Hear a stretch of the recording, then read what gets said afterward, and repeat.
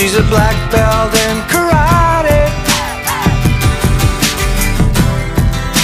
Working for the city. She has to discipline her body. Cause she knows that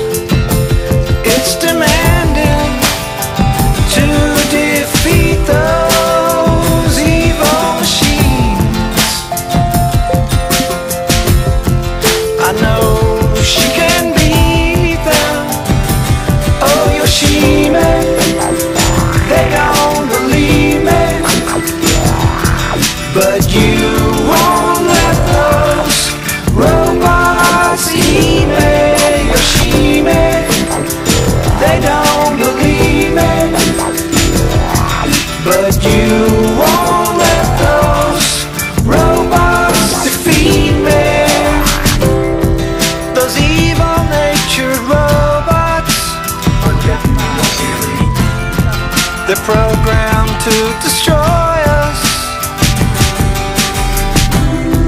She's gotta be strong to fight them. So she's taking lots